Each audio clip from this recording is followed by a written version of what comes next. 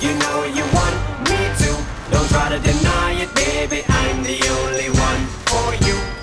Damn girl, I'm beginning to sprout an alfalfa. Why should I wash my filthy mouth out? You think that's bad? You should hear the rest of my album. Never has there been such finesse and nostalgia. Man, Cass, I don't mean to mess with your gal, but Jessica Alba put a breast on my mouth, bro. Wowzers, I just made a mess of my trousers, and they wonder why I keep dressing like Elvis.